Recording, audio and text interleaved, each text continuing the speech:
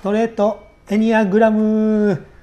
二等兵の友人屋です。隊長です。隊長でございます、今日は？うん。今日は。タイプ7のうん。健全度うん。について、うん。もう僕が 愛して愛してなりたかった。愛してやまない、うんうんあのエニアグラムを好うんきになったうん。きっかけ、うん。あ、7かもしれない。僕7かもしれない。うん。エニアグラムめっちゃ褒めてくれるやん。うんうんって思ったタイプ7うん。の、まあ、タイプ7はタイプ7でうんいろいろ大変でございます、うんで今日もいつものように、えっとエニアグラムで9つの性格診断うん。とドン・リチャード・リソさんの性格タイプの分析、うん。あとは、えー、いつもとこ。いつもの9つの性格タイプをもとにと思っております。でタイプ7が、うん。まあ、タイプ7の基本的な特徴？特徴としては、えー、とハッピーでありたい。うん。幸福でありたいという欲求の強い人ですと、人生に刺激と楽しみを求めていうん。ます、うん。また欲しいものは全て手に入れうん。満足したいという気持ちを持っています、欲しいものを全て手に入れる。うん。まあなんかあのルフィとかうん。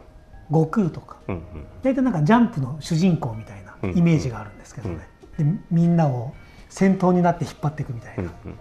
よくなんであのエニアグラムの本だとなんか冒険者とか。書かれたりもする、まあそんな感じですよね。なのでこう引っ張っていくっていうよりも勝手にみんながついていくみたいな感じですよね。なりたかった。うん。で、えー、と価値判断の基準としてはなので、うん。楽しいか楽しくないかうん。が大きな舵基準となっており、うん。物事を快不快の感覚で判断しています、うん。なんで、えっと、楽観タイプでうん。自己主張、自己主張。なんで基本的にはもう楽しいもの楽しいものですね。なんとかなるさとか。うん。そんな感じなんですか、うん。楽観はなんとかなるさ。なんとかなるさ？なまあ困った時に困った問題に目を向けたくないからなんとかなるさなんです。なるほど。でなんとかなるさで自己主張で全部取っていくみたいな、うんうん。羨ましい。うん。悩みがなさそうで羨ましい、うん。あこれディスってるわけじゃないです。悩みがないわけじゃないですよね、ないわけじゃないですよね。で人との付き合い方としては、うん。まあ、自分から人に近づいてうん。誰とでも親しくなれます、うん誰に対してもフレンドリーでうん。いろんな人と付き合いますが、うん。人に合わせるのではなく、うん。あくまで自分中心ですと、うん。で自分が欲しいものについては遠慮したり、うん。他人に譲ることはなく、うん。積極的に自己主張しますと。うん。なんであとは物事の受け止め方としては、まあ、何事も楽観的にうん。受け止めます、自分は大丈夫。うん特に問題はないと思うし、他人の問題も深刻には受け止めませんと、嫌なことは避けて通るかすぐに忘れてしまう。からうん。何かが起きるんでしょうね。まあ、そうやってストレスを回避してるんですよね。本当は目を向けないといけない問題もある。本当はある。ある。あるけどそこに目を向けるのストレスじゃないですか。それで悩んでますよ。なのでそこに目を向けないように楽観的にこう振る舞ってるみたいな。でもなんかまあ世にあるうん。いろんなあの自己啓発の本がうん。うんその楽観的に考えよううん。とかポジティブに。ポジティブにとかって言ってるのがうん。言ってる人がタイプ7なんですかね。いやーどうなんですかね。そこに響く人がい多いからそうやって書いてるんじゃないですか。楽観的になれない人が多いからそういう本が売れる、あなりたいからなねりたいから。なれるわけじゃないんです。選ばれたい人ですよ。楽観で考えられる人は。選ばれたい人っていうかあれですけどね。それはそれでいい面もあれば悪い面も。そうやって思っちゃう。のは多分まあ自己啓発本に僕は多分何引っ張られてるのかもしれません、うん。タイプ6としてうん。誰か僕に光をあうん。自己啓発本って見て、うん。あ楽観的に考えればいいんだ、うん。ポジティブにポジティブポにジティブにポジティブに多分その例えばタイプ6だとしたら不安が多いわけじゃないですか、はいはい。でその不安が多い状態って自分で作り出してる部分が多いじゃないですか。そうですね。こうそんなに考えなくてもいいものを深く考えてどんどん落ち込んでいくみたいな、はい。そういう人にはポジティブにっていうのはいいアドバイスですよね。でもうん。でよくあるのが自己そのタイプ診断とかで、えー、とポジティブに私は考えているうんっていう項目があると、その自己啓発本で書いてあるポジティブに考えよう、うん。意識してる。そう、ん。なんであ僕はポジティブに考えてる、うん。で7になるみたいな、なんでそのタイプ診断でよく人気のタイプでうん。347って挙げられるんですけどその7に行くのも要はそういう世にあるものがうん。ポジティブに考えようとか。そこに引っ張られる可能性は。があるのかなと。でこの楽観タイプのポジティブは、はい、い、い面もあれば悪い面もあるみたいな。問題が起きた時に目をそらすんで問題解決していかない。そういうのは 自己啓発本には書いてない。だから自己啓発本はそれ不安が多い人向けのものなのかなっていう。でこのタイプ7の幼児期の原点、うん。まあ、いつも紹介してるんですけど、幼児期の原点としては、うん。タイプ7は母親、うん。もしくは母親的人物と否定的に結びついている、うん。えー、と初期の人格形成において鍵となる要因は母親にうん。何らかの理由で奪われ奪われるうん。という恐れを中心にして回っていると。うん。そのダッシュ母親のダッシュは物質的なものあるいは感情的なものだったかもしれないし、うん。いろんな面で原因があったのかもしれない。うん。また実際以上に恐ろしく思えたかもしれず今なお決して不安や窮乏を感じまいという決意が彼らの成長する際の主要な推進力になっていますと書いてます。なんでまあはえー、とちょっと難しかったですか？ね僕も難しいです。ただ何を言ってんだろうみたいな。あのタイプ3うん。人気のタイプ3は母親と肯定的に結びついている、うん。要は母親に、うん。なんて言うんでしょう？すごいね。うん。すごいね。って褒められよう。褒められたことが、あこうやれば褒められる。うんうん。で逆にタイプ7は否定的っていうのは母親に、まあ、禁止されるとかうん。っていうことなんですかね。でうん。自分が好きなものを奪われるからっていう奪われないように。っていううんことが書いてあります。うん。なんでタイプ7じゃないのでちょっとその辺は分からないんですけども。あんまりピンとこないですよね申し訳ございません、はい。一応紹介しました、はい。でタイプ7の健全度としては、段階1、うん。えーと有頂天の干渉者。うん感謝とあります、うん。これちょっと分かりにくいですね、でも一応タイプ7は、えー、と統合の方向が、うん。えーとタイプ5 5いろんなものに目がいく。タイプ7が一つのものを掘って集中する。集中する、で分裂の方向がタイプ1、うん。うんフレンドリーなうん。タイプ7がルールルール。キュッて急に視界が狭くなる狭くなるというか、うん。なんですけども、えー、と健全の段階1だと有頂天の干渉者まあ、うん。なんて言うんでしょう。俯瞰して見れるんですかね。そうかもしれない有利有利タイプのところを今ちょっと目を向けてみたんですけど、うんいつも自分中心みたいな。うん。うん貪人欲貪欲な人うん。がちょっと俯瞰してうん見れるようになる。うん。で、え2としてはうん。幸福な熱狂者、熱狂とあります、うん。なんかこの辺うん。なんかカリスマっぽい感じですかね。そうですね。あとは3としては多方面に能力を発揮する熟達者、豊かさとあります、基本タイプ7はとても頭が良くっていうのが結構書いてあって、うん。要は何でもできる。うん。このいろんなものに興味を持つんですよね。好奇心が多分強はい。くていろんなものに手を出していろんなものをこうやる。はい。から多分いろんなスキルとかいろんな知知識が身についてるっていう。なるほど、うんっていうところなのででこの辺は熟達してるんでこの健全度が低いといろんなものに手を出して多分全部中途半端に終わってるみたいな。ん？なるほど。ところがこうタイプ5っぽいこう熟達するところまでいろいろちゃんと掘ってるっていうことですね。で通常の段階としては、うん。経験豊かな物知り、うん。所得欲、うん。なんかこの辺もなんか私としてはうん。全然ディスってないじゃん、この辺はまあ通常のいいところですからね。6はもうこの辺からもう どんどんディスってましたよ、で5としてはうん。異常に活動的な外交性の人うん。衝動性とあります、異常に活動的、うん。いやもう多動みたいな感じですね。手に入れた瞬間にうん。手に入れたものは古くなる、古くなる。で新しいものに目がいく、うん。なのでこうこのタイプ7の人の特徴がはい、今自分の持ってるものでは幸せになれないっていう、思ってるんエニアグラムで最終的に言うのは、その持っているもの、うん、今あるものに感謝しましょうなんですよね、でこうなのでタイプ7はこう今ある今自分の持ってるものでは幸せになれないって思ってるのでいろんなものに手を出すんですよ。でそれを手に入れた瞬間今持ってるものになるじゃないですか。業が業が深いっていうところですよね。異常な活異常に活動的だから手に入れて手に入れて手に入れて、まあ、それが貪欲って言われる。はい、7つの大罪と言われる。7つの大罪、はい。貪欲。で6としては極端な実利主義者、うん。過剰性とあります、まあ、それがどんどん過剰になっていくうんっていうことですね、で落ちる不健全な状態になると、衝動的な現実逃避者、うん。浪費。うん。で8創病的な衝動の人、うん。脅迫衝動うん。で落ちていくと恐怖に取りつかれたヒステリーの人、うん。ヒステリー発作、うん。なんでもうどんどんうん。この、どんん。んもう今日衝動っていう字をうん。一生分書きました。この辺で。だから衝動がどんどんどんどん強くなっていくんですよねきっと。手に入れても手に入れても不安が解消されない。で、まあ、確かに書いてあるのが、えー健全な段階うん。はもう心にこもった感謝。うん過敏敏感に反応する熱狂者、実利的な豊穣さから、ん。まあ、通常の段階でうん。何にでも手に従ううん。感覚の追求、うん。で稼働活動過剰なうん。外交性。うん。で実利主義過剰性へで落ちていって、うん。まあ、ついで、まあ、不健全な段階に行くと、衝動的な攻撃性、うん。いやもう子供ですからね。うん。うん。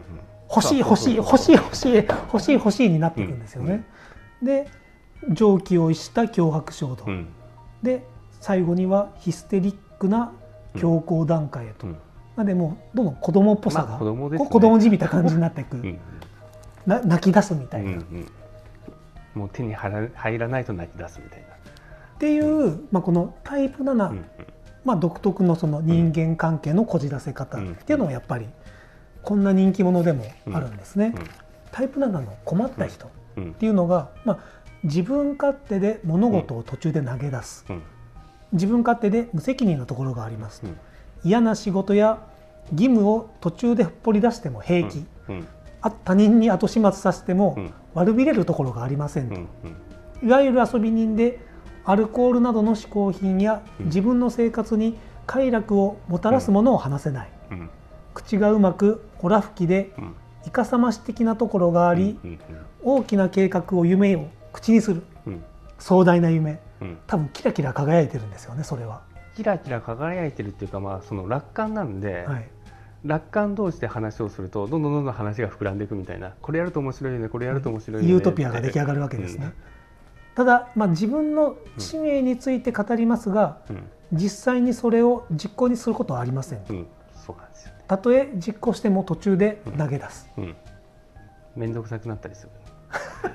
なるほど、ん。行った瞬間にもう古くなるんですかねこれもまた。しあそうそう。違うものが目につくみたいな、なるほど、うん。で、まあにそこまあ、そこが元でうん。人間関係がこじれる原因だだと思うんですけども、その相手を出し抜いてでも欲しいものを手に入れようとすると、要はタイプ7の人は痛みや辛さを感じることを忘れ、あまり自分の内面を深く見ようとはしませんと、うん常に満足を求めうん。自分が欲しいものがあればすぐに手に入れようとしますと、うんそうすると相手を出し抜いてでもうん。欲しいものを得ようとしたり他人のものを奪うことにもなりかねません、うん。例えばその仕事のシフトうん。とかでも真っ先に自分が一番いいところを、うんうん私ここみたいな、うんお盆の一番いい時期うん。とかうんまあ、自己主張の人の特徴ですよね。あんまり人の人他のことを考えない。あんまりっていうかもう自分の主張をいかに通すかを考えるじゃないですか。今いその話を聞いただけで今 イラッとしました今。反応が出ましたよ今もう。自分なので自分が外に働きかけることによって世の中をこう変えていこうみたいな。自分の有利に持っていこうっていうのが自己主張の人の特徴みたいな。自己主張。378、うん。ですね、378はいでみんなそういう感じじゃないですか。自分から積極的にいいところを取っていこうみたいはい、な部分があるので、まあ、7も。6としては許さない。っていうところですよね。なるほど。でまあで自分が満足感を得るために、うん。他人が不満に思うような自分勝手な行動に出たり、うん。まあ、他人に欠乏感や痛みを味わわせる、うん。まあ、他人に欠乏感を味わわせる。うん。この人は自分が欠乏感を味わいたくない。うん、味わいたくない。やっぱりこの自分がやられたくないことをするっていうのがやっぱりエニアグラムでうん。どの本にも書いてある、うん。頭の中では常に先のことを考えているので、人と話をしていても話題は一つのことにとどまらず、うん。コロコロ変わる。うん。で人の話はあんまり聞かない。うん。相手が話をしていても自分がパッて思い出すと途中で遮ってうん。自分の話に持っていく。そう。そうですよ。なのでまあ、うん。こそんなタイプ7が、うん。その落ちないうん。ように、その目覚めの注意信うん号として、えー書いてあるのはもっと良いものが手に入る。うん。新しいものが次々に出てくる。うん。って感じ始める時はうん。健全度が下がっていく、うんうん。注意信号ですと、うん。本当に自分にとってそれは必要ですか？うん心の心の隙間をうん。ただ埋めるためのものうん。かを深呼吸してから考えましょうと、やっぱり深呼吸っていうのはこの衝動的なんですよ。出てく出てきますね、うん。やっぱり。成長のためのアドバイスとしてはまあ先のことに意識は行きがちですけども、うん。今うん。ここ、うん。タイプ6も言われましたけど、うん。やっぱりこの思考タイプっていうのは今ここなのかもしれない。やっぱその先をどうしても先を見てうん。見ちゃうんですかね。この不安があるタイプじゃないですか。先に未来が不安なんですね、あまあ、未来を見て不安になる。はい。なのでタイプ7の人は今あるものじゃ将来生きていけないみたいなこの今ある手にしているものでは幸せになれないって不安がある。はい。っていうところだと思うんですよね。はい。なんでそれをうん。今ここ深呼吸しましょうと、あとはその衝動的に物事を決めることがないように、うん。えーまあ、すぐに結論を出さない。うん約すぐに約束をしないっうんていうことをしましょうと、うん。でこの人たちはけ考えが2点3点するし、っていうので、うん周りが振り回されますよと。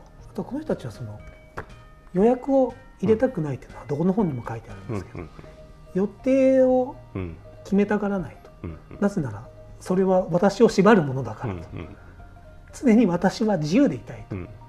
なのでこの約束をしながらも多分他に興味があることがあると多分平気でこの約束の予定日を変えたりするっていうのは、うん。まあ、このもっと面白そうなものを手に入れたくなるんでしょうね。7の人は。なるほど。もっと良さそうなものこの人と打ち合わせするよりもこの人と打ち合わせした方が儲かりそうだなみたいな。あともう後の先の方がちょっと不利ですね。不利あもうだから面白そうかどうか面白そうかっていうか、まあ、例えばお金ビジネスだったら儲かりそうかどうかですよねきっとなるほど。でこうプライベートだったら面白そうかどうかみたいな。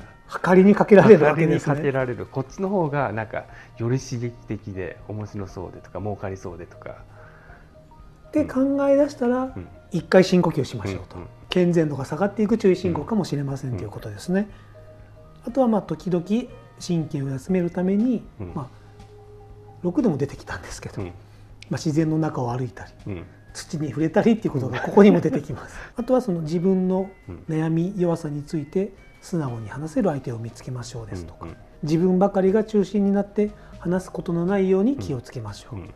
というようなことが書いてありうん。ます、なんでそのちょっと思うにうん。今このエニアグラムの、うん。えー、とこの YouTube をやらせていただいていて、うん。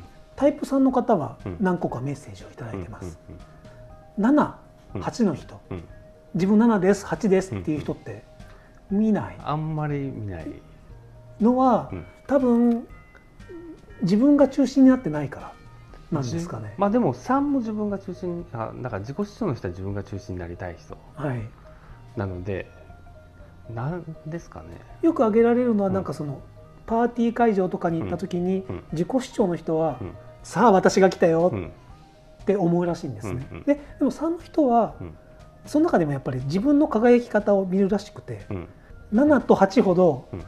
こうやっていかないらしいんですね。こうやっていかない。どうだって。けどこう仕切りたがる3の人は。あなそうなんです、次のお店行きたい人とか。持ってかれる。持ってかれる。ではいなんか中心にはなりたいんですよね、なるほど。なんでこう仕切る。でタイプ7とかは多分目立ちたいんですよ。見て見てなんですね。見てってなのでこう仕切ってる人がいたら多分3っぽいですよ。なるほど。だから司会とかしたいしたがる、なるほど。うん、今の話題で言うと渡部さんですね。渡辺さん。そう。なのでこうしこう仕切りたいんですよね、えーと2020年うん6月でございます、うん、渡辺さん。渡部さんね。タイプタイプ3と。っていうのをちょっと前に挙げたんですけど、うん。はい、仕切りたがる。仕切りが異常にうまい。異常にうまいうまいじゃないですか渡部さん、渡部さんうまい、うん。はい、まあそういう感じですよね。で長野の人は楽しそう、楽しそう。なのでこう目立ちたいとか楽しい話をしたい盛り上がりたいみたいな。でよく芸能人投げられるのは木梨憲武さんとか、うんうんなんか面白い話をこううずうずしてる話をしようとうずうずしてるみたいな。感じしますよね、うん。なんか西野さんもそんな雰囲気。西野さん。西野昭弘さんキングコングの。あー西野さんはどうですかね。もう3っぽいところもあるじゃないですか、あーなるほど、うん。ちょっとなんか合理っぽい理屈っぽい。でもなんかあの人もなんか楽しい、また西野さんも取り上げたいと思いますけども、うんうんはい、うん。とりあえず今日はタイプ7 7はい。なのであ所ジョージとか。なるほど、うん。まあ楽しそうですよね。楽しそう。にしてるみたいな。で何か言ってもいいこれはこれでいいんだよみたいな。あのノリですよね。タイプ7のノリ。なるほど。うん。っていう、うん。このこの目的としてはまず健全度が下がる合図は、まあ、いろんなものに目が向き出したら、うん。あの健全度が落ちてますよと、深呼吸しましょうっていうところで、そう。多分こうこれを見ると多分タイプ7の人はどんどん衝動が強くなっていくのかな。手に入れたい衝動とか行動したい衝動とか、はいはい、欲しい欲しい欲しい欲しいっ欲しいて子供っぽくなっていくっていう感じですかね。いかがでしょう？はい。ありがとうございありがとましたうございました。チャンネル登録も何卒よろしくお願いします。ありがとうございます、はい